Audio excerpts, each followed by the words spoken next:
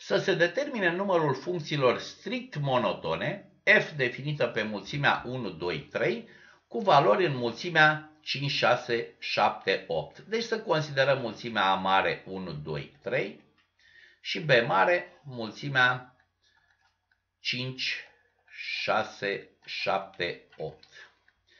Ce ne cere problema? Să determinăm acele funcții f care pleacă din mulțimea A mare și ajung în mulțimea B mare, care să fie strict monotone.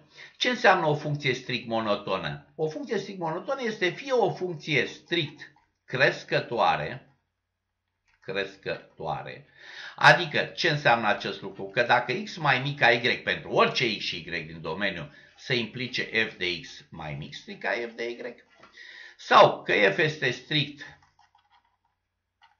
descrescătoare, descrescătoare, care ce înseamnă că pentru orice x și y cu x mai mic ca y să implice f de x mai mare strict ca f de y.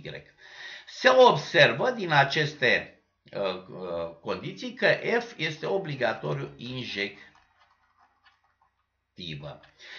Prin urmare, pentru a determina numărul funcțiilor strict monotone, vom proceda pentru să zicem f strict crescătoare, după care exact la fel se procedează și pentru cele strict descrescătoare. Și anume, ce va trebui să face? Funcția fiind strict inject, fiind injectivă, ea îmi duce elementele 1, 2 și 3 în elemente distincte din B mare. Deci în trei elemente. Trei elemente din A se vor duce în trei elemente din uh, B mare.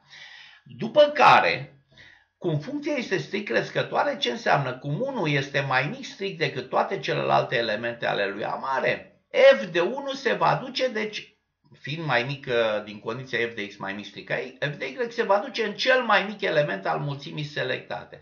De asemenea, 2 se va duce în următorul, 3 se va duce în următorul. Prin urmare, odată ce am selectat o submulțime a lui B mare, funcția este determinată. Câte submulțimi ale lui B mare avem? În, uh, avem?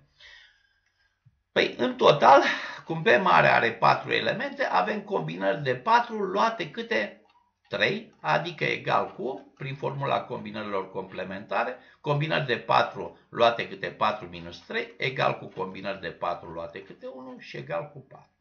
Dacă f este strict descrescătoare, procedăm exact ca mai sus, numai că știm că la o funcție strict descrescătoare, din x mai mic ca y, rezultă f de x mai mare ca f de y. Prin urmare, lui 1 îi voi aloca cel mai mare element din submulțimea respectivă, lui 2 imediat următorul mai mic și așa mai departe. Prin urmare, numărul acestora este exact același combinări de 4 luate câte 3. Prin urmare, numărul nostru de funcții strict monotone, neprecizându-mi natura acestora, este suma celor două de mai dinainte, 4 plus 4 egal cu 8.